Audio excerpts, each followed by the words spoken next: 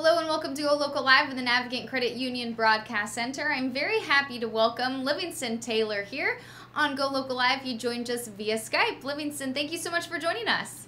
Oh, thanks for taking time to talk with me, Molly. Really appreciate it. Oh, well, I'm very thankful for you to join us. So, you are celebrating 50 years in the musical profession as a singer songwriter.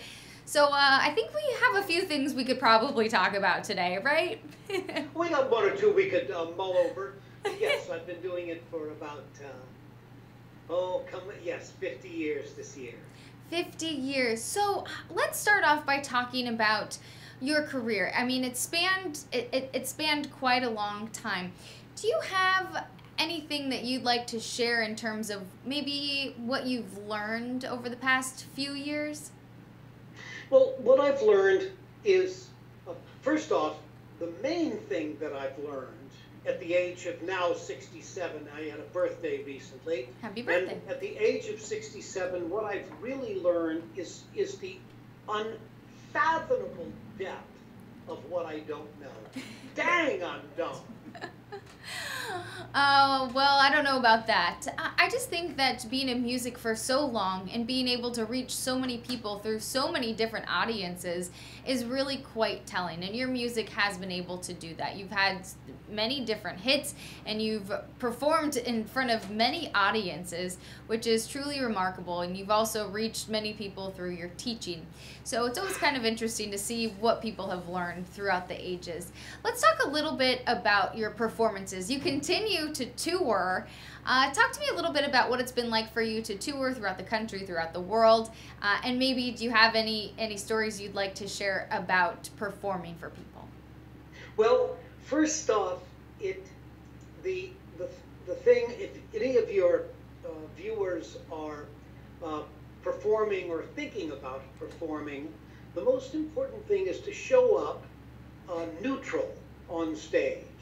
Uh, don't be swayed by either the sound check, because sometimes you're very good at sound check and not that good uh, on when the show comes around.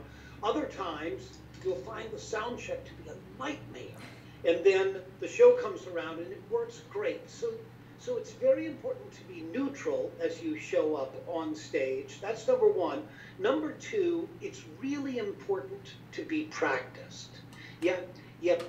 If there if if there were another way of doing it, I'm telling you, I would have found it. but you just have to practice your uh, you have to practice your instruments. You have to learn songs. And uh, the great thing for me, of course, about having done it for 50 years, is now I uh, uh, uh I know lots of tricks. It's very fun at this age to have so many colors on a palette. So uh, you show up, and then very important as well, Molly, is to watch your music land, watch your creativity land. When I teach school, I, I uh, when I teach college, I, I'm a professor at the Berklee College of Music in Boston. And when I'm there, often I'll ask my students do, if they record themselves, video themselves, and they confess that uh, yes, they do. and what I suggest is that they stop video them, videoing themselves and that they start videoing the audience. Because what matters is not how you look.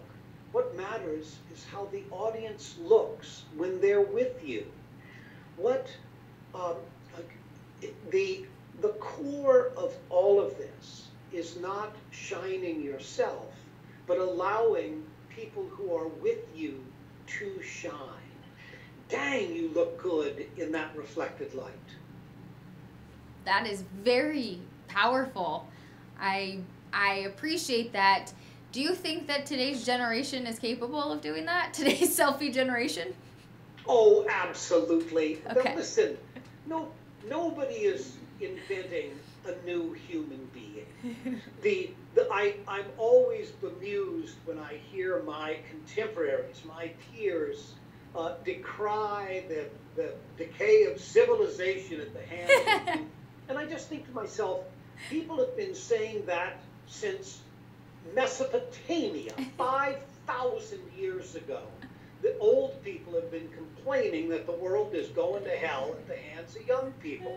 Guess what? It hasn't done it yet, and I don't think it's going to happen We're still surviving. We're still surviving. Absolutely. And not only surviving, but surviving well. We are. We are. Thanks to powerful powerful words such as the ones that you have spoken. Let's talk a little bit about your career touring. Uh, like I mentioned, you're still out on the road quite a bit. Do you have any signs of slowing down, and is there any reason to? Oh, oh, I'm up. Uh, um, uh, there's, I'm slowing down. There's plenty of reasons to. uh, but, but what happens is that the urgency of youth leaves, and what you get is um, uh, what what you get is just a. Um, uh, I'm sorry. Can you give me uh, one second here to grab my power from my phone? Sure. All right. Thanks for your patience with me. Here we go. I love these devices, but boy, they sure need power. Hold on a second. Let's see. There. Awesome. There we are. Up and back again. Let me find a good plug. God, I love the modern world. Okay, stand by one. All right. All right, Captain, I'm raising power. We're back at full strength. A true performer. Where was I? Um, Oh, just talking about being out on the road. I mean, I, I Uh, think at one so, point you yes, had a, like a hundred shows a year, weren't you? At one point. How much? What did you? How many? At one point, weren't you doing a hundred shows a year? Oh yeah, gosh. it- well, When I was uh, when I was in my twenties, it was Molly. I was uh, I was doing uh, uh, I do uh, 150, 200 shows a year, but now I'm doing about uh, I'm doing about 70 shows a year now. So uh, yeah, a couple a week, and uh, teaching two days a week, and that's me. I think that's quite exciting. Uh, talk to me just a little bit about your career. What has it been like for you to be able to bring joy and to bring music and to bring art to so many fans? Well, the uh, again, I, I don't see it that way. I, I see that, for instance, I'm uh, when uh, uh, uh, coming tomorrow night to Rhode Island, to North Kingstown, and, and to um, and to see my audience there.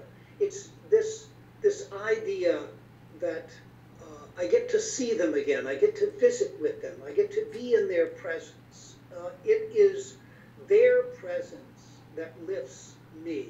It's it's it's not the other way around. And so uh, that's when I think about my audience, it puts me in an enormously good mood. I I do quite enjoy that. You do have a way with words, don't you? I, uh, I certainly hope so in terms of the, the fact that I'm a songwriter. I better have.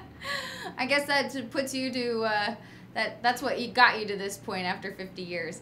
Uh, talk to me a little bit about your family. You come from a very musical family. It was, in fact, you credit your brother Alex to getting you into the music profession. Of course, many people know your brother James Taylor, and your sister Kate Taylor is also a singer songwriter. What's it like to be part of such a musical family?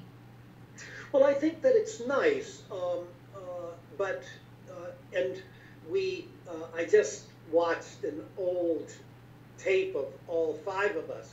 We lost our brother Alex about 25 years ago, and uh, uh, but to see the five of us together, um, uh, with, young with full heads of hair, it was nice. It must be Uh, fun. but but but but let me let me just add that that I love my family and and um, I hear often about uh, the fact of about the idea that I would live in James Taylor's shadow, and and the answer is that if I I don't view myself in his shadow, but if I do, uh, uh, that's all right. It's a wonderful shadow to be in. He's a really wonderful man and brother, and he's a dear friend. And so I'm, I'm, uh, I just can't imagine having had a better career than the one I've had. that seems quite nice. I would think it would be pretty fun growing up in a household full of music, especially if you're all working together and just yeah, it was nice, and uh, uh, and and it's still nice because we uh, uh the the other day uh, uh, I was my family called me up. They were gathered together. I couldn't be there, but they called me to sing me happy birthday, and I just listened to it as they were singing, and I thought to myself, God, this sounds good. These people, these people can sing. that was probably one of the best happy birthday renditions out there, right? It was. Don't kid yourself. It was Oh, that's incredible. What what what a privilege. Uh, let's talk a little bit about your work um, b- besides the musical side of you out performing, which we've covered. Let's talk about your work up at Berklee. Um, you have given and spread your knowledge to many people, including one of my colleagues here, Ava Gaudet, which I'm not sure if she had that name when she was one of your students, um, but she wanted me to say hi to you. I don't. Um, that's great. Give Ava my best, please. I definitely will. I just think that's so fun. But some of your notable students have included Gavin DeGraw, John Mayer, Charlie Puth, uh, and then, like I said, our, our friend Ava here. So You've spread your knowledge far and wide through Berklee. What is it like for you being a professor there and, and just being able to mentor and teach other musicians? Well, I teach a course called Stage Performance, which is a class on how to be on stage.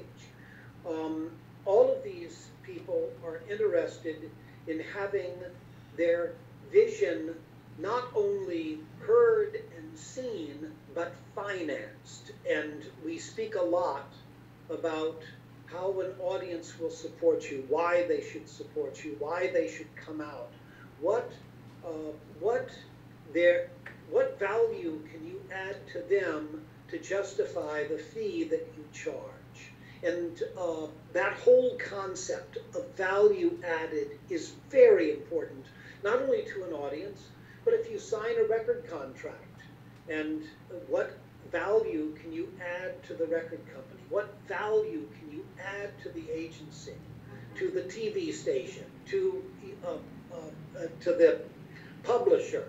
So thinking in those terms, thinking in terms not of somebody's bestowing something on you. Stop it.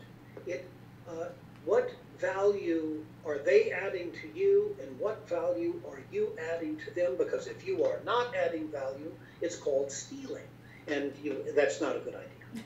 Not a good. It sounds like a fascinating course. I'd be interested. Oh, it's a, it's a good course. It's yeah. uh, it's popular, and I have a great time. Been doing it uh, now for 28 years, so a long time. And very, very valuable, especially if you're headed into the music industry. I want to talk to you about what you will be doing tomorrow. You're coming to Rhode Island and performing at the Courthouse Center for the Arts in Kingston. What can people expect from you? Well, I, that's a uh, uh, uh it's a good question. They, they, You're going to show up, hopefully. well, I mean, I mean, it's it's in terms of what I sound like, I've got that Taylor sound. If you if you um, uh, uh, if uh, in terms of song choice, uh, I have a really deep uh, quantity of songs. Yeah. So I I can go. Uh, I do a lot of funny stuff. I do a lot of. I do Broadway. I do standards. I do my own material, of course. Um, I just can go in a lot of directions. I think the thing that surprises people most when I play Molly is how comfortable I am, and that I'm, uh, and it's a surprise to me that I'm funny. Uh, people are uh, are surprised at how funny I am, and it surprises me too because I don't sort of see myself as being funny. Uh, uh, but I am normally in a very good mood when I'm in the presence of my wife. Well, I expect it to be a very good show tomorrow. Uh, before we let you, I, am glad. Before we let you go, I just want to ask you. Um, you know, it's still December, but coming up January 18th, uh, is a very special day. Boston Mayor Marty Walsh and Massachusetts Governor Charlie Baker declared January 18th as Livingston Taylor Day in Boston. So I'm just wondering, uh, they did that in 2017. So coming up uh, in 2018. Yes, the one year anniversary of my day. Yeah, exactly.